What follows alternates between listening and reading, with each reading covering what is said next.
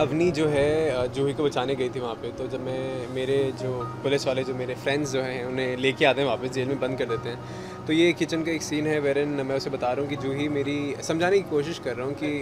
जूही को बचाना बहुत इंपॉर्टेंट है at the same time Avni जो है, वो मेरी लाइफ है, मेरी ज़िंदगी है। तो वो मैं समझाने की उसे कोशिश कर रहा हूँ इनडायरेक्टली डायरेक्टली नहीं बोल रहा, और for me most important is जिसके साथ मैं भी रह रहा हूँ विच इज़ अवनी।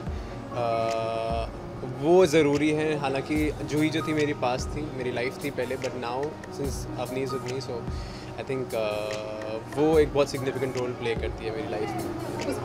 उसके बाद भी अभी आप जब अली के बारे में थोड़ा सा परेशान हैं कुछ, और आपने कुछ बोलने की कोशिश करी, कुछ समझाने की कोशिश करी, लेकिन उसमें चीज़ें बहुत डिफरेंट तरीके से नज़र आ रही हैं।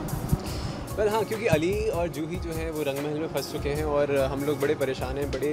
चीज़ कोशिश कर रहे हैं कि किसी तरह से रंग महल में रेड किया जाए रेड कर नहीं पा रहे बिकॉज़ वहाँ पर बहुत ही ज़्यादा सिक्योरिटी है।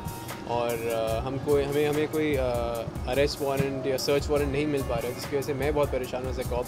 और अवनी जो है ख़ुद सुपर कॉप बन के खुद कहीं वहाँ पे चले जाती हैं सो मैं उस चक्कर में अलग परेशान हूँ कि कहीं वो अपने, अपनी जान खतरे में ना डाल दें। तो कहीं ना कहीं प्लानिंग चल रही है इस मिशन को सक्सेसफुल बनाने के लिए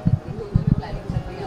आई थिंक बहुत ज़्यादा प्लानिंग चल रही है बिकॉज़ बीच में अपनी अपना बेस बदल के भी जाती है। एक